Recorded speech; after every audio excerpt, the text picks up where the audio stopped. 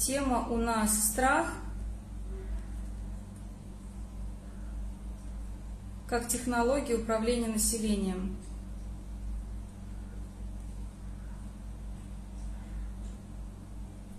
Так, Алан, подключаю вас. Я, пока подключается Алан, а, я немножечко расскажу.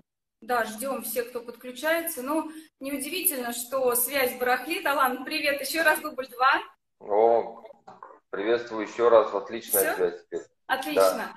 А, Алан, прям полминутки рассказываю, как это все получилось. Эм, а, Дело в том, что сейчас на самом деле непростая ситуация. Я как специалист по здоровью, который ведет целые семьи, да, и прям кланы, я бы сказала, я вижу, что люди пребывают в страхе. А У каждого свой страх. А, Кто-то боится поругаться с родителями за то, что они там за какую-то процедуру, кто-то боится, что его уволят с работы, кто-то еще что-то боится, кто-то боится всех и так далее. А, И, ну, я, в общем-то, как человек осознанный, я понимаю, что страх – это, по сути, технология управления населением. И э, эта тема, ну, до- достаточно широко из- изучается. Алана, впервые я тебя увидела на YouTube-канале а, у Малини. А, И чему очень благодарна, что ты откликнулся на мой призыв вообще сделать прямой эфир для той аудитории, которая здесь в Инстаграм, потому что не все а, бывают на YouTube, да, не у всех есть этот источник информации. И, друзья, я хочу попросить, Алан, я прошу тебя вкратце рассказать, пожалуйста, о себе. И вот в тему страха давай уйдем. То есть что же, почему людям, а, ну, нежелательно испытывать страх, да, и как мы, собственно говоря, можем с этим жить дальше. Да, меня зовут Алан Мамиев, я живу в Северной Осетии, собственно, не знаю, общественный деятель, так наверное, понять не будет. По поводу страха, вообще все эти вещи, ну, как бы изучаю я инструменты управления обществом, и страх, он самый действенный, ну, самый действенный способ управления. Ведь управлять можно двумя способами, либо через страх, либо через любовь. Ну, то есть два, как бы, смысле каком-то энергетическом, наше сердце способно испытывать две эмоции, но какую-то либо одну из двух, либо страх, либо любовь. То есть либо так можно управлять обществом, либо через любовь. То есть пытались и так, и так, но страх, наверное, самое действенное. И вот, собственно, им. Для того, чтобы человеком управлять через страх, ему этот страх нужно внушить. Ну и внушают его с самого детства. Для самых таких пытливых зрителей, там, не знаю, элементарно, это вот мультик «Корпорация монстров», посмотрите. Там вот показано, как эти монстры пугали детей и питались этим страхом. И по большому счету вот есть, ну, как бы, да, нашим страхом питаются и делают так, чтобы человек генерировал этот страх. И когда общество пропитано страхом, оно, соверш... ну, соответственно, начинает реализовывать всякие негативные сценарии. Ну, происходят войны, катастрофы, а это плод страхов. То, чего мы боимся. Это что же так работает? Так, Алан, да, что-то со звуком. Да-да. Мгм. Алло, слышно меня? Да, да, да, слышно. Похуже немножко звук стал. У меня кто-то пытался мне позвонить по WhatsApp.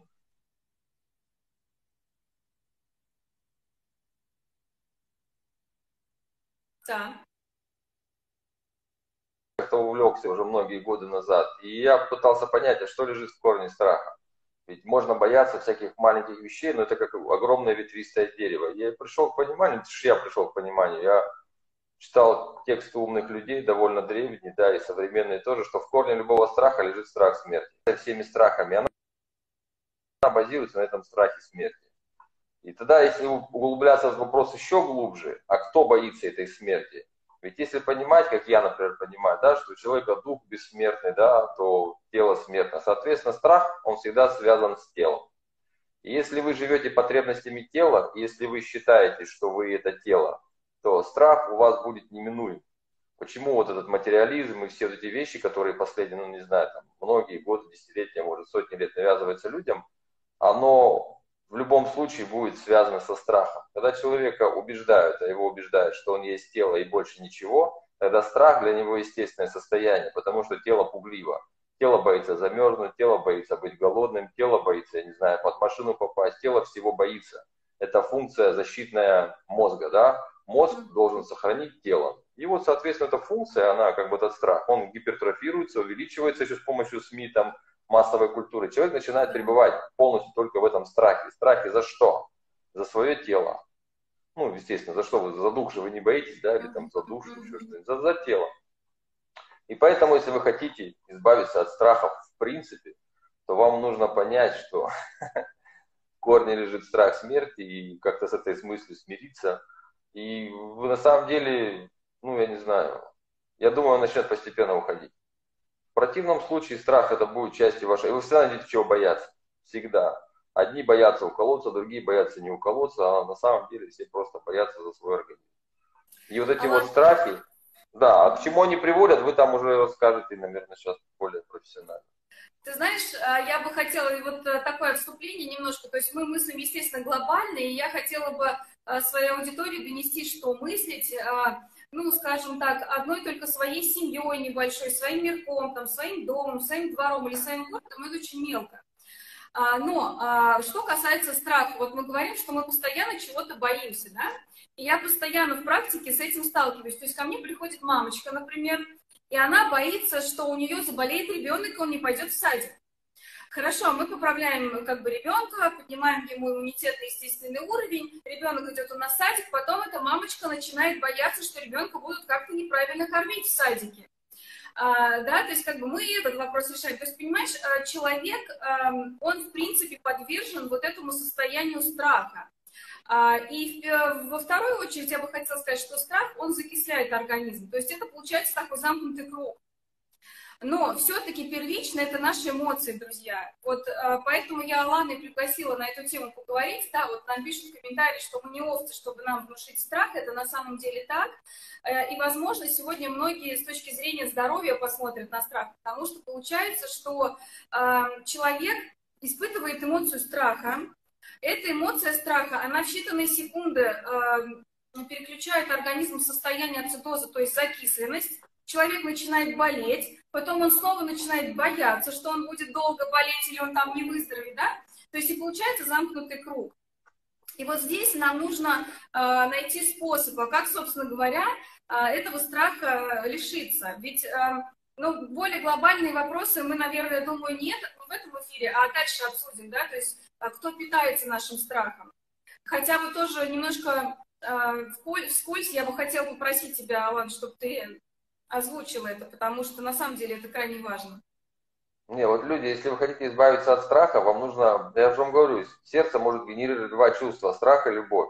Если вы перестанете, на что можно поменять страх? На любовь. Вот как только вы перестанете бояться Бога, начнете его любить, да, как только вы начнете, перестанете бояться людей, то есть начнете их любить, вы перестанете их бояться. Вы не можете одновременно испытывать страх и любовь, понимаете? Вот эту просто одну мысль уясните себе, и все станет на свои места. Вы можете либо бояться, либо любить. Если выбираете бояться, вы будете бояться. Если выбираете любить, вы будете любить. Понимаете, если вы боитесь мир, то вы постоянно, вот как ваша мамочка, да, она будет бояться ребенка детский сад, что она боится. Она боится, всего боится. А если она переключит это эмоции, это просто эмоция, это функция эмоционального интеллекта. Сейчас современные психологи это называют. Эмоциональный интеллект. Вы управляете чувствами, которые вы чувствуете. Вот я вам это говорю до 200%. Вы управляете. То есть вы можете выбирать чувства. Выбирать страх, выбирать любовь, выбирать радость или выбирать негатив. Вы выбираете. Я, по крайней мере, сам вот переключаю, что я хочу испытывать в данный конкретный момент. Или вы либо мир боитесь, и, соответственно, вы будете находить чего бояться. Вирусов, не знаю, плохой еды, еще чего-то, еще чего-то, еще чего-то, как бы вы найдете чего бояться. Пауков, в конце концов.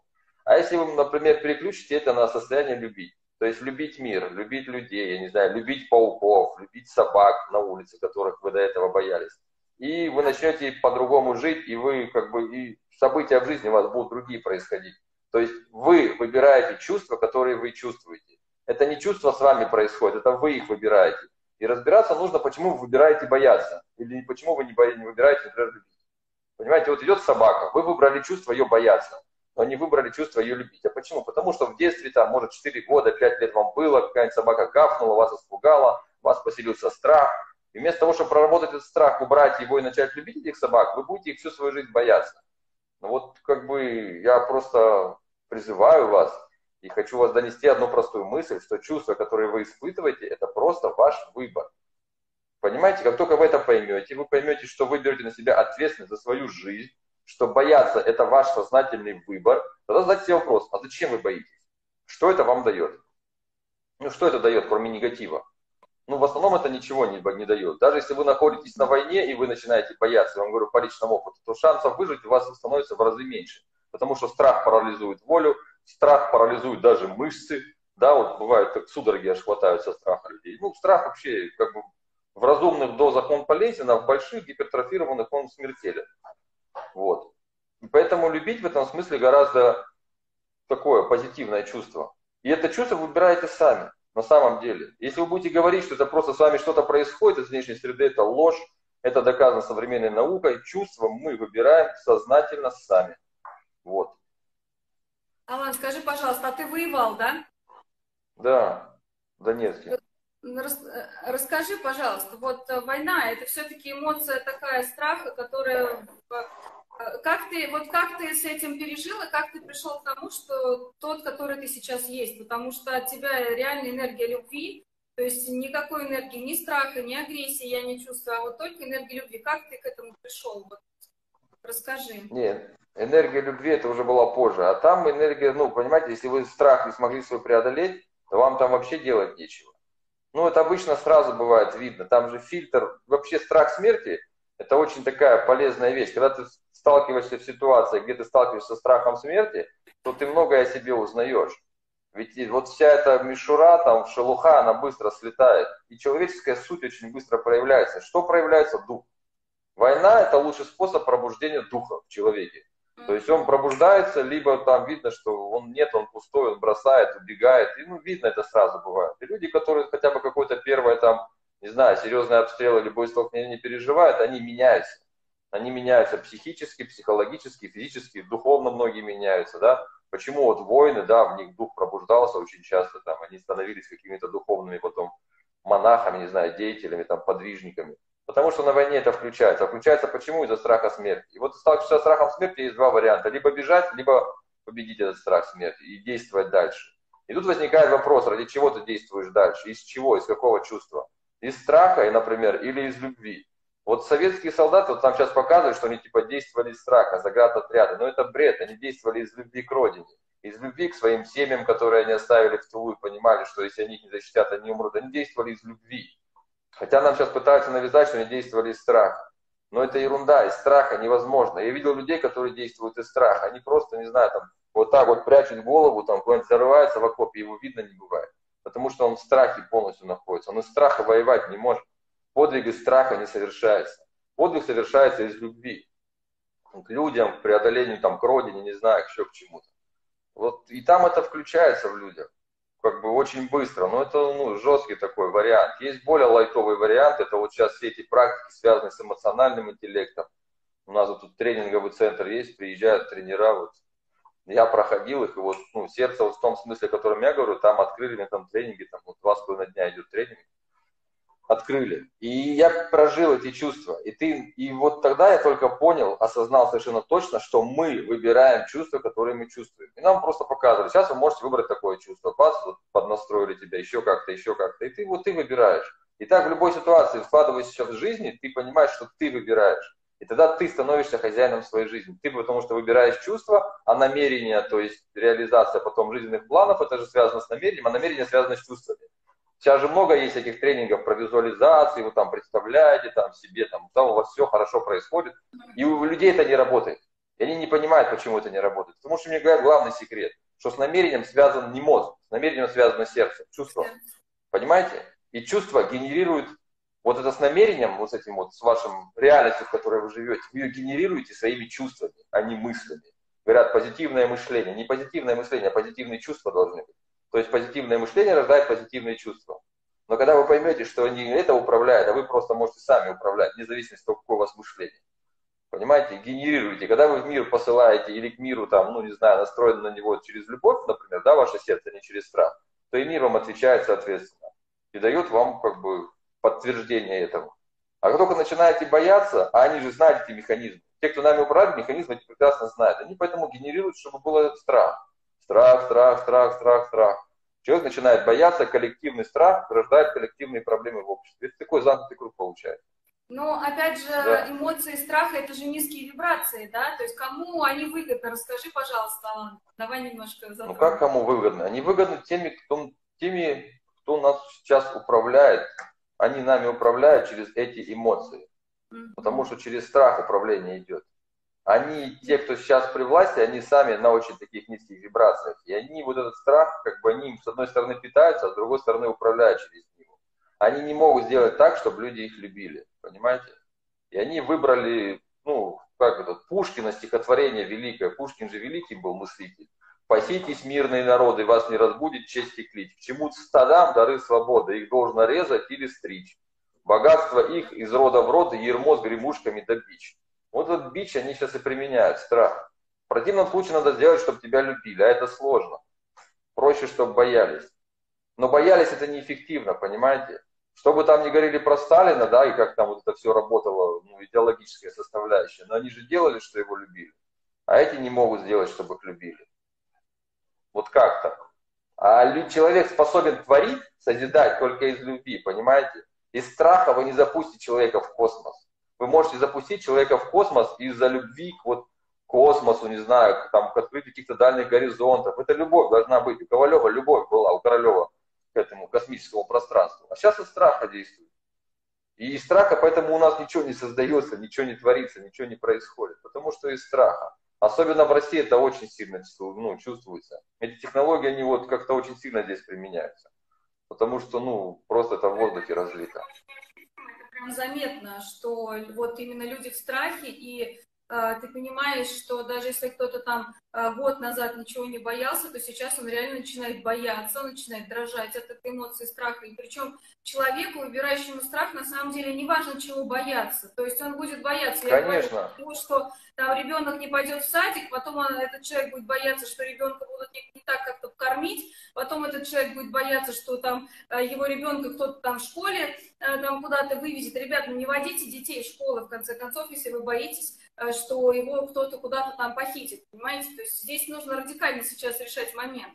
То есть и э, на самом деле, ты знаешь, Алан, вот тебя сейчас слушают, ты говоришь про войну, а, про то, что а, вот это, а, ну, когда ты, образно говоря, смерть видишь в лицо, да, я, конечно, не воевала, я на войне не была, но у меня своя э, такая военная обстановка, я бы сказала, в жизни была. У меня двое непростых деток, и а, я каждого из них, то есть дочь у меня за 15 лет жизни дважды стояла вот на грани жизни и смерти, то есть ей спасали жизнь.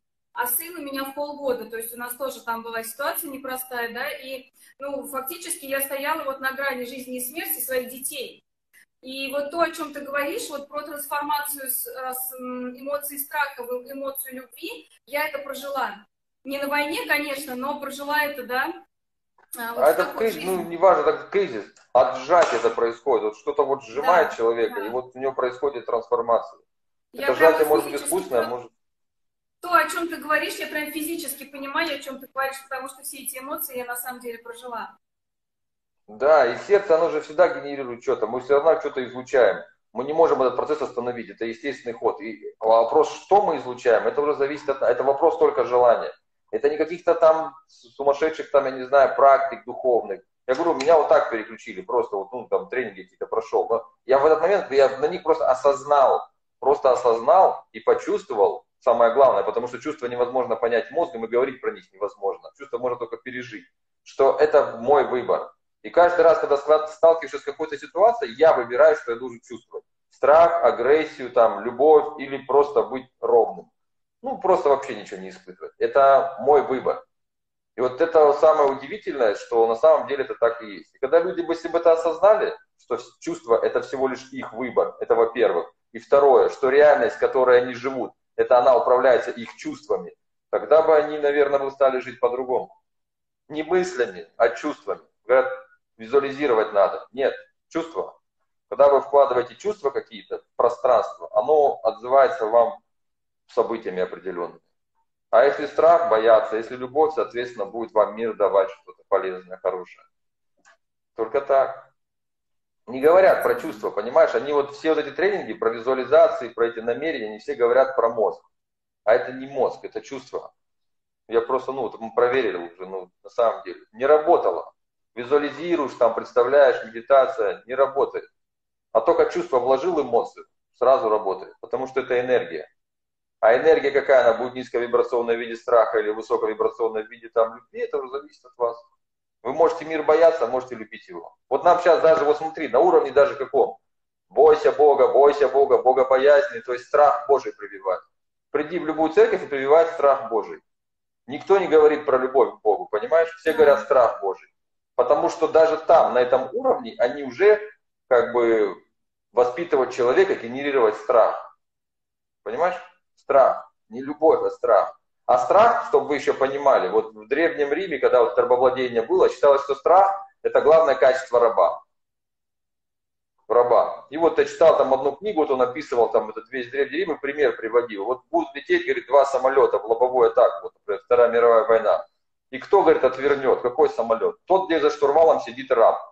Потому что у раба, у раба страх смерти. У господина никогда не бывает страха смерти. Поэтому он господин. А вот тот, у кого есть страх смерти, тот будет раб. Потому что многих воинов, например, брали в плен. Ну, война идет, взяли в плен. Кто становился рабом? Тот, кто испытывает страх смерти. Потому что другой, я не хочу быть рабом, убивайте меня, его убивали, зачем мне это надо? Я пошел, перезагрузился, лучше еще раз где-нибудь сражусь. И они под это подделали, ну, сделали там религиозные учения, философские, и все на страхе. Понимаете, вот все религии, которые вот сейчас вот у нас основная есть, она же построена на страхе. Не на любви, обратите внимание, а на страхе. Страх Божий, смирение, покаяние, страх, страх, страх. А что же говорю, про любовь-то не говорите? Не надо, потому что человек другой будет, и общество другое будет. И как им управлять уже? Понимаешь? Люди, которые живут в состоянии там любви, там вот в таком на позитиве, и как ты ими будешь манипулировать? Ты должен быть таким же. Только через уважение, только через чувство там поддержки там или еще каких-то вот таких на высоких чувствах, да, они будут с тобой сотрудничать. А на страхе-то проще. Бей кнутом и все. Ермо с гремушками да бич. А вот это вот все, что происходит, это частные, частные следствия этого основного базового принципа на страхе смерти, там, на страхе Божьем. Но главное, чтобы на страхе, не на любви. Никто вас любви к Богу не учит, к страху только. Поддерживаю. Вот э, говорят, что а, батюшка всегда про любовь говорит. Вы знаете, мы сейчас не обсуждаем веры. Вот. Если брать в целом про религии, то, поверьте мне, это не про любовь. Вот. Потому что, да, это все-таки... Не, ну, частные, Частные случаи есть везде, везде есть там просветленные. Это никто как бы, я да, говорю про бот, действительно, да. как структуры, как институты. Институт. Человек должен бояться. Тогда через это будешь управлять. Все. Это очень просто. А, сейчас, а тему для страха подкидывают. Вот сейчас подкинули вот с этими штуками. Даже слух нельзя произносить, банят эти ролики и каналы. Сейчас такую, завтра другую подбросят. Страх Третьей мировой войны. Страх еще чего-то, страх еще чего-то. И когда мы люди все об этом боимся и все это представляем, это начинает происходить. Вы понимаете, в чем дело? Это плод нашего коллективного намерения. Все, что с нами происходит, это результат нашего коллективного намерения, коллективного страха. Вот это все результат этого. Потому что люди управляют своей реальностью, а те, кто вкладывает им идеи, управляют людьми, соответственно, реальностью.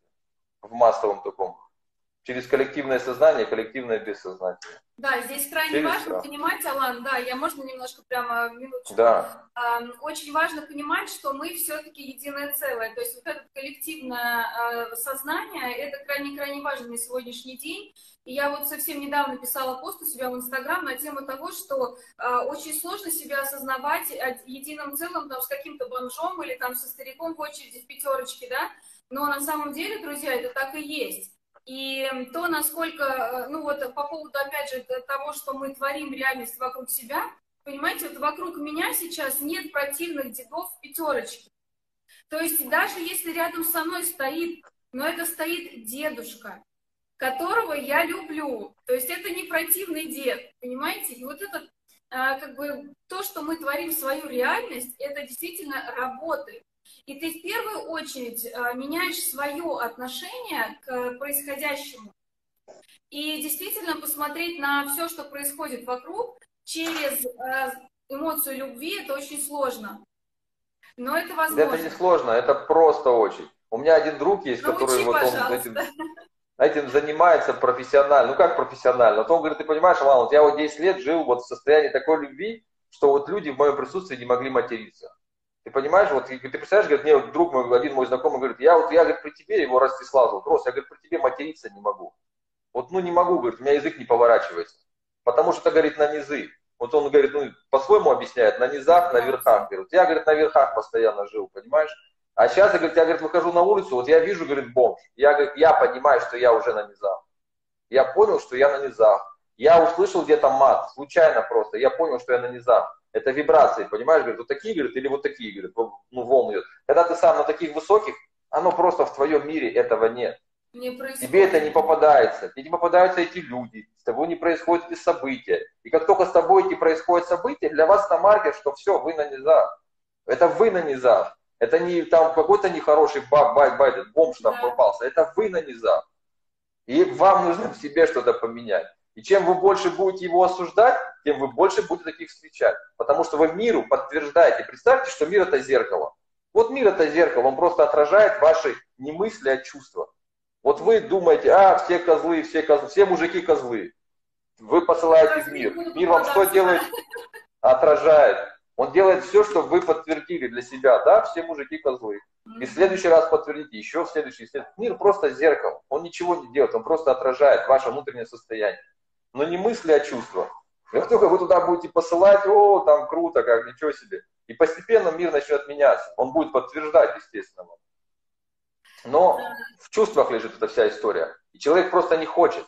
Или он не знает. Или очень часто бывает, блоки лежат в раннем детстве. Вот я же говорю, эти тренинги, чем мы проходим, ну, проходили, да, там, вот они есть, я не знаю, везде, эмоциональный интеллект, ну, много сейчас где делают. Человек переживает это, где-то в детстве там затык бывает, сердце заблокировано, какой-то эмоцией, страхом чаще всего, ну, в детстве, до пяти лет обычно что-то бывает. Ему это вытаскивают, и в нем это открывается. И тогда он понимает, что любить или бояться – это только его выбор. Это наш выбор. Это не сложно, это вот так. Просто надо один раз почувствовать и признать это. Потому что нам всегда проще считать, что кто-то нами управляет. Это не мы, это вот так обстоятельства сложились. Это там не я просто генерирую какой-то негатив в пространстве, мне это подтверждает, а это вот просто мир такой плохой. Mm-hmm. Все. Мир не плохой, не хороший, мир он просто есть, он отражает вас. Вот он какой вы, такой мир. И когда человек рассказывает про свою жизнь, я просто понимаю, что у него внутри. Все, ничего больше. Мир ужасный, мир состояние ваше внутреннее отражает. Не более того. Так и есть зеркало. Конечно, мир это зеркало, отражающее ваши чувства. Ты знаешь, Алан, я опять же немножко по практике по своей, то есть я ну, специализируюсь на здоровье людей, да, то есть я целитель, натуропат, нутрициолог, и интересные происходят вещи. То есть, казалось бы, такой одухотворенный человек приходит, который на высоких вибрациях, как он считает, да, а тем не менее хронические заболевания как были, а, так и растут. И же какой я делаю вывод, друзья, то есть вот я сейчас э, очень углубленно уже занимаюсь этой темой волновой медицины, да, то есть э, создать видимость и быть – это разные вещи. То есть э, делать вид, что ты любишь, и ты любишь действительно, это тоже разные вещи. А на самом 100%. деле да, э, вибрации любви – это высокие вибрации, и смотрите, что происходит на физическом уровне, когда, допустим, мы падаем в вибрации. То есть сразу происходит что? Происходит обострение хронических заболеваний, происходит какая-то, ну, появляется симптоматика любых других заболеваний, да, и, в общем-то, понятно, что физике надо помогать иногда, когда речь идет о, а, ну, таких запущенных каких-то моментах физического тела. Но начинать всегда необходимо с мышления. И я уже сейчас, как специалист, к которому за дня в день приходят люди, а, понимаете, у меня а, каждый прием – это вот буквально психотерапия. То есть э, мы начинаем с того, что, э, ну, уже, знаешь, так получается, что в моем поле люди автоматически начинают менять мышление. Они говорят, ой, Женя, я у тебя вот посидел там час на приеме, да, так круто, так здорово, мне прям все хорошо, все, я пошла дальше, я горы сверну. Вот оно, как бы, когда поток от специалиста, от человека, с которым ты рядом, идет э, ну, действительно высоковибрационный, тогда и людям становится рядом с ним хорошо, и люди тоже начинают ну, скажем так, обретать силы для изменения своего мышления в первую очередь. Друзья, мышление – это очень важно. Ни одну физику невозможно поправить, если не поправлять мышление.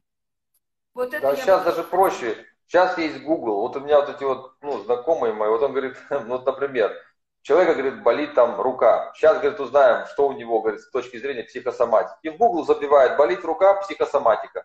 И сразу выдает диагноз. Да. Понимаете, вы должны понять, что все, что болит в теле, это про чувства. Вот у вас там, не знаю, болит почка, забейте, болит почка и психосоматика. И вам сразу выдаст ваше внутреннее состояние. И изменив это внутреннее состояние, у вас почка перестанет болеть. Это всего лишь проявление психосоматики. По большому счету, ну не знаю, там 90%, 80% заболеваний это психосоматика ваша. Это все с чувствами связано. Просто забейте там, то-то, то-то болит, соматика. И когда человек, знаете, вот я же много знаю, те, которые строят из себя там духовно продвинутых товарищей, как ты говоришь, там болеют, там да. еще что-то происходит. Да. Они же врут в первую очередь себе. Они погрузились не в любовь к миру, а в любовь к себе. Они вот в самовлюбленности пребывают, понимаешь, что я такой крутой, я там дыхательные эти там делаю, я там одни яблоки ем, там э, сыроед, еще что-то. Но они это все делают для подтверждения, как бы, знаешь, значимости себя. Да, там нет да. любви к миру, там есть ну, такое, знаешь, гордыня гипертрофирована. И это тоже видно бывает всегда. Да, поддерживаю. Как бы, так что психосоматика, друзья мои, просто вот проверяйте, это очень бывает полезно. А по поводу того, что настраиваться на вибрацию, вот есть, ну, как этот, эксперимент с метрономами, ты видела? Нет. Короче, провели там, кто-то, не знаю, китайцев, там, норбеков его тоже показывают. Ну, неважно, метрономы берут два метронома. Знаешь метрономы, которые качаются? Да, да, да. Ставят два метронома, они качаются несинхронно. Потом ставят три, они начинают синхронно. Туда же ставят еще 50 разные, и через минуту они начинают качаться синхронно. И начали этот эксперимент и проверять, почему это происходит. Эксперимент с метрономами, посмотрите в Ютубе. И так, и так, и тепловая среда, и температура, все проверили, ничего не дает. И показывает, что вот один метроном бывает, под который начинают синхронизироваться все метрономы остальные. И вот то же самое происходит с людьми, с человеческими вибрациями. Вот они приходят, они на твои настраиваются. Как только от тебя уходят, они опять, настра... они, ну, опять на низы съезжают, понимаешь? Опять в другую сторону пошли. На низы, на низы, да, опять на низы ушли. А, кстати, еще знаете, сердце чем хорошо открывается? Благодарностью. Вот это тоже меня этот рост научил. Вот просто хочешь проверить сердце, как оно открыто сейчас или закрыто? Закрываешь глаза, начинаешь благодарить. Ты просто мир благодаришь. Ты проснулся, у тебя руки, ноги есть целые, там, все живы, здоровы, кушать есть еще, там, дома тепло, крыша над головой. Искренне начинаешь благодарить. И ты чувствуешь, как будто сердце изнутри открывается. Чтобы изнутри открыть благодарность, кстати, хорошо. Просто благодаришь мир.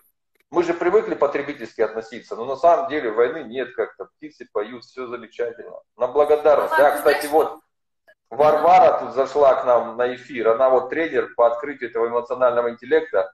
Она вот Отлично, тоже Варвара, напишите мне, пожалуйста, в директ, давайте мы с вами тоже на эту тему Проведите с ней, она вам профессионально расскажет, как открывать сердце. Вот она это Отлично. делает просто вот я не вот так да, вот. Я сейчас... Вот я у нее проходил тренинг «Любите принимать себя». Это вот ну, чудесный просто был хороший опыт.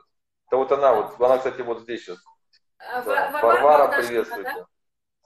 Да, да, да, да, да. Хорошо, свяжусь обязательно с Варварой. Ты знаешь, а, Алан, хочу такую смешную историю. Ну, как рассказать? Я это у каждой женщины происходит, когда бесит муж, да?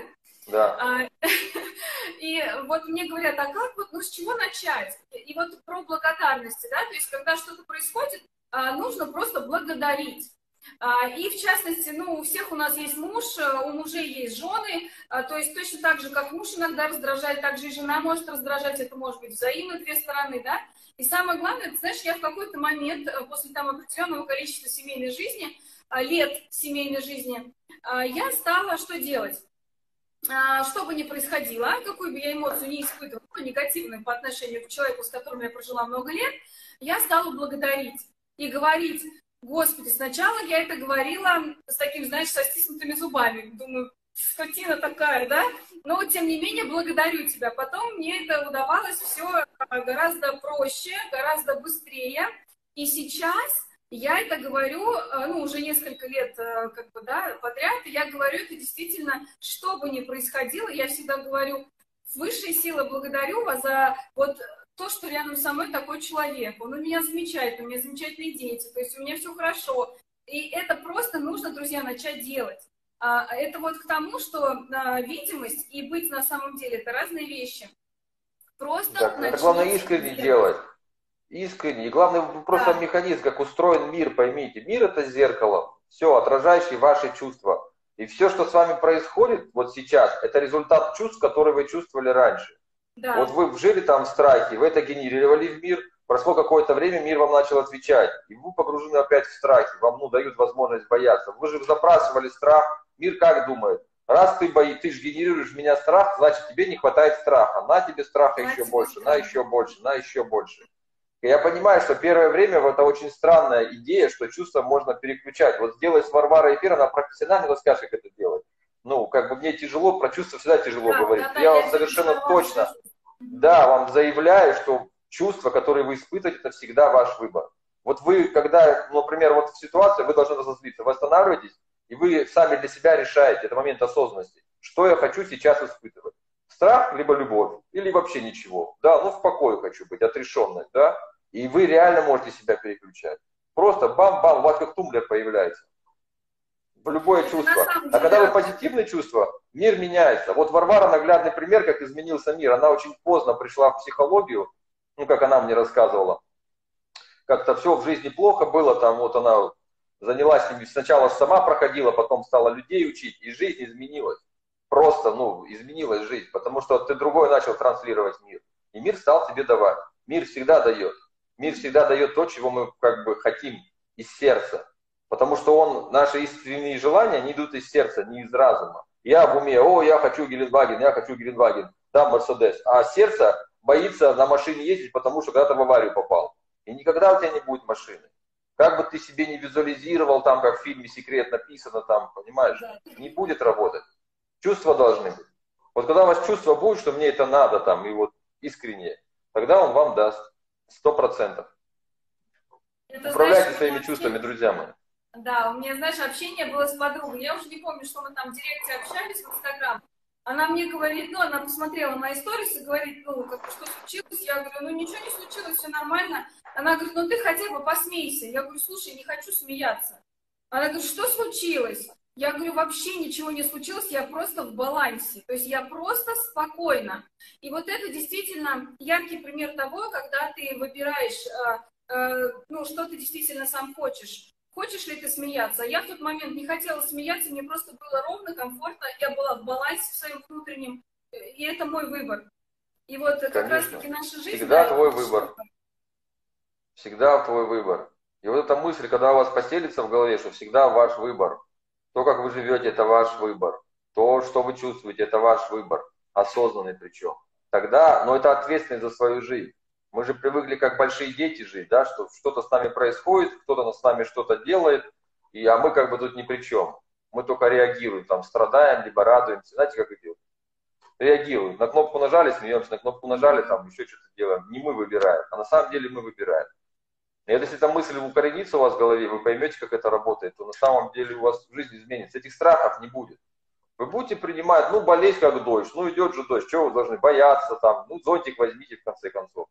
И когда страха нет, у вас высокий уровень иммунитета становится. Я вот переболел этой модной болезнью, я, честно говоря, даже не заметил. У меня просто обоняние пропало в какой-то момент, и я, о, ничего себе, и я подхватил. Ни температуры, ну, вообще никаких других признаков не было.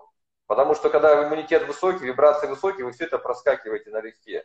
А когда вы в страхе, вы это все усугубляете. Психосоматика, я вам еще раз говорю, возьмите свой диагноз, там живот болит и соматика. И посмотрите, что вам Google напишет по этому поводу.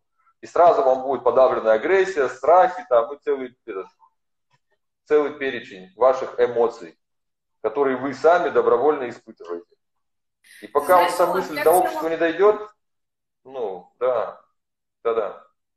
А, Я в тему осознанности пришла на самом деле через здоровье, через здоровье детей, и я уже много лет а, несу эту философию в массы, и она сейчас очень тесно переплетается в целом, ну, скажем, с такой глобальной осознанностью, да.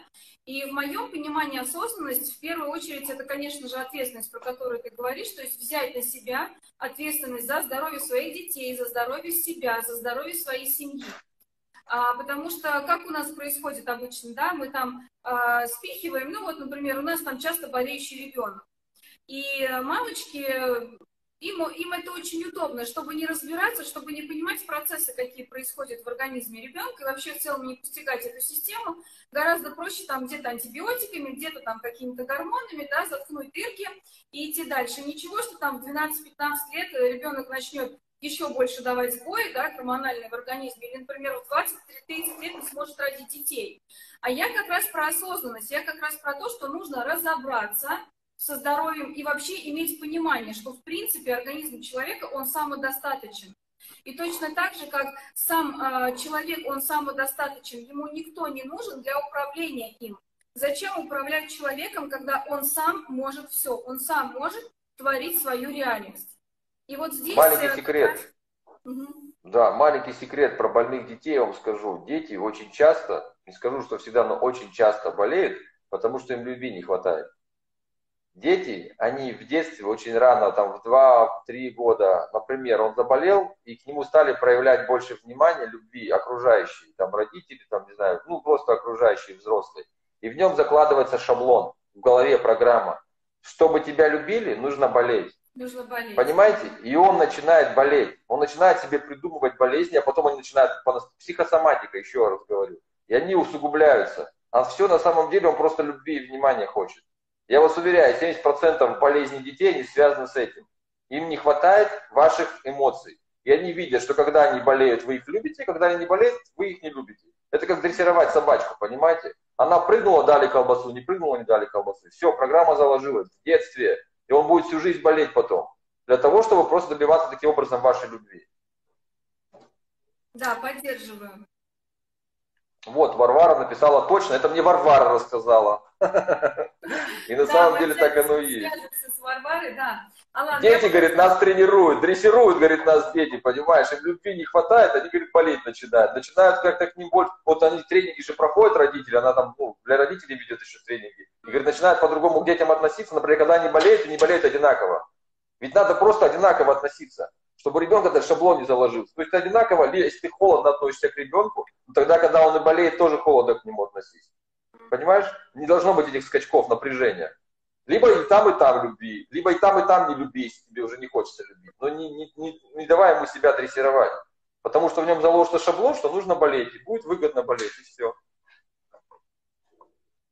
Ладно, немножко хотела затронуть э, более глобальную э, эмоцию страха да, то есть куда она нас уводит? Расскажи, пожалуйста. Куда нас уводит? Она нас уводит на низы. На низы. на низы. Вы когда начинаете бояться, вы вокруг начинаете находить то, чего нужно бояться. Вас начинают окружать какие-то больные люди, алкоголики, наркоманы, не знаю, вас будет на улицах, там, на машине будет ехать, вам постоянно кто-то будет подрезать, вас врезаться, вы будете на низах, на низких вибрациях, соответствующими людьми вокруг которые точно так же, как и вы, на низах. Они будут много материться, много будут пьянствовать, много будут там, я не знаю, еще что-то делать. На низах. Понимаете? А если вы хотите, не хотите на низах, вам нужно самим измениться, и вы подниметесь на другую, на верха. Вибрации разные. И мы каждый живем на своей волне. Вот это вот хорошее русское выражение на одной волне. Вот когда вы на одной волне, вы встретите таких же людей на такой же волне. Когда вы на другой волне, на низкой, вы таких же будете встречать. Вокруг вас играть будет музыка, шансон, вокруг будет много пить водки, и вокруг много будет, там, я не знаю, соответствующих контингента публики находиться. Потому что вы на низах. Как только вы идете на улице и услышали шансон какой-нибудь, знаешь, там, золотом покрытый купола, вы должны понять, что вы уже на низах. Потому что не должно быть такой. Кстати, вот сейчас ты меня а? прям накинул на мысль, да.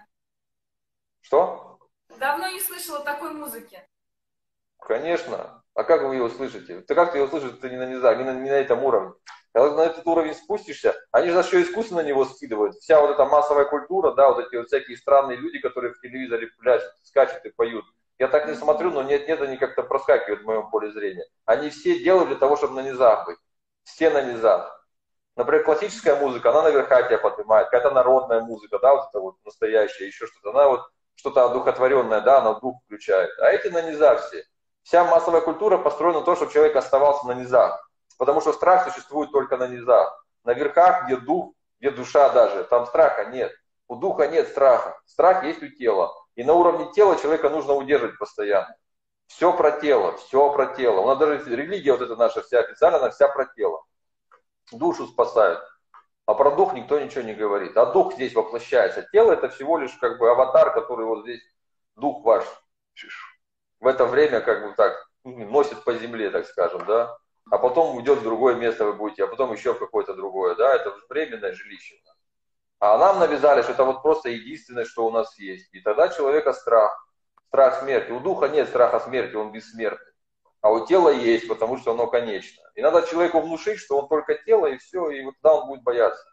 Человек духа ничего не боится. Он живет предназначением. Знает, что у него есть предназначение в жизни, он его должен исполнить. Все. А человек, тело, он живет потребностями и, соответственно, страхами пропитан. Так что, и опять же, это ваш выбор. Когда вы осознаете, что вы просто дух, воплощенный в теле, какой страх, что бояться, ну, сбросили это тело, пошли дальше.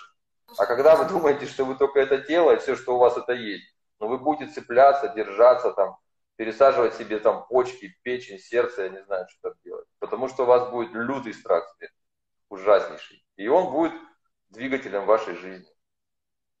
Не в лучшую Короче, сторону, кстати. Ну, естественно.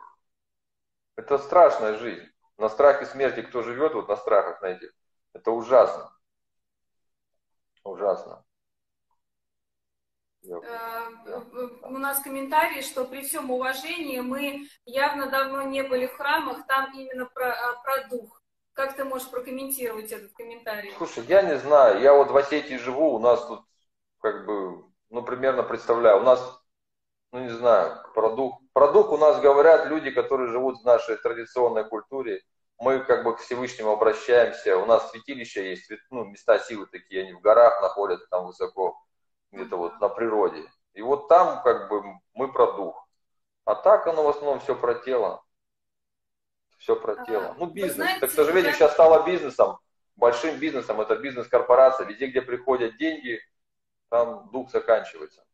Знаешь, Иисус еще сказал, горе вам, книжники и фарисеи, сами в Царствие Небесное не идете, и других не пускаете. Вот эти книжники да, и фарисеи, они сейчас оккупировали эту сферу.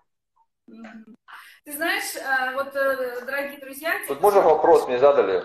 Практиковали, говорит, ли мы осознанные сновидения? Не то, что практиковали, у меня канал есть по осознанным сновидениям в этом, в Телеграме. Да, в Телеграме, друзья, 1800, Да, 1800 человек там уже практикуем. Я сегодня в сторис выложу ссылку на, телеграм-канал Алана, друзья, так что присоединяйтесь. Да. Я сама там тоже состою, да, очень интересно. А, Алан, а подскажите, пожалуйста, про троединство цифр 369. Прокомментируешь? Ну, это я, честно говоря, не знаю, я не нумеролог. Но здесь, э, там тоже это есть, да, такие глубинные там всякие объяснения. Если честно, тоже вникаю в эту тему, но вот так, чтобы комментировать в эфире, конечно, не могу. Друзья, я, собственно, о чем хотела сказать, для чего я сегодня пригласила План, у нас сейчас будет уже заканчиваться время. А, я хотела в сегодняшнем эфире, не знаю, насколько мне а, удалось это сделать, а, сказать о том, что нам эмоция страха, собственно говоря, ни к чему. Ни к чему хорошему она не приводит. Она приводит исключительно только к нервозу, к обострению хронических болезней и к низким вибрациям. Если человек на низких вибрациях он будет цеплять все, что угодно, начиная от э, подключи, подключки э, всяких там э, присосок, лярв, э, я не знаю, сущностей, да, и заканчивая болезнями, смертями. А, поэтому повышайте свои вибрации, методов на самом деле для этого очень много. Подписывайтесь на Алану, у него на канале тоже очень много всяких интересных эфиров а, про свободу воли, про свободу духа. Алан, я благодарю тебя за то, что ты несешь в массы Благодарю тебя за то, что ты согласился сегодня выйти со мной в прямой эфир. На самом деле да. это очень ценно для тех людей вот именно объединяться. И, в принципе, вот про это объединение я тоже хотела немножко сказать, потому что сейчас идет разделение общества, а, как раньше были антипрививочники, а, что касается, а, ну, там, прививок детей, да, потому что я тоже это в свое время пришла, то есть анти-за, вот этого не должно быть в нашем обществе. Если какой-то человек а, не соответствует вашим представлениям или требованиям, а, лично вашим, это не значит, что он плохой. Это значит, что у человека это его выбор. И очень важно уважать его выбор. Вот я бы вот за это, вот этим хотела бы закончить свой эфир. Да, мне бы хотелось сказать, друзья мои, что я совершенно точно знаю и вас уверяю, что чувства, которые вы испытываете, это всегда ваш выбор. Вы выбираете чувства. А реальность, которая вокруг вас, зависит от того, какие чувства вы генерируете и посылаете в мир. Вот что вы просто проведите эксперимент, там, не знаю, неделю или месяц, не посылайте в мир негативных чувств. Вы даже перестанете музыку шансон вокруг слышать, я вас уверяю, понимаете? И видеть вокруг себя людей, пьющих водку, например, да? Ну, это самый же такой низковибрационный напиток. Вот это так. И когда вы это убедитесь и поймете, что мир это всего лишь навсего зеркало, отражающее ваши чувства, ваш мир изменится. А по поводу здоровья, я еще раз говорю, почитайте соматика. там страхи, психосоматика, и вы увидите список болезней, и обязательно одну там у себя найдете. Вы поймете, что это Да. результат ваших страхов, подавленных желудок, язвенная болезнь, там, еще, по поджелудочная, там, ну, очень много там. Это все со страхом. Боли в ногах, опять же, да, то есть боль Да. в ногах, варикоз, это все, это все проблема того, что человек не чувствует себя ш- уверенно стоящим на ногах. То есть вот она, пожалуйста, соматика. Да. Так что, друзья мои, всегда ваш выбор. А с Варварой сделайте, не пожалеете, она Да. вам расскажет. Алан, ну и я надеюсь, управлять. что мы с тобой сделаем а, еще один эфир, и не один эфир. Обязательно. Свяжусь с тобой, да, тоже в WhatsApp. Спасибо большое, хорошего дня, Всё. друзья, всех обнимаю. Да. Да. Счастливо. Подписывайтесь на наши Женя каналы. Спасибо. Да, счастливо, Алан.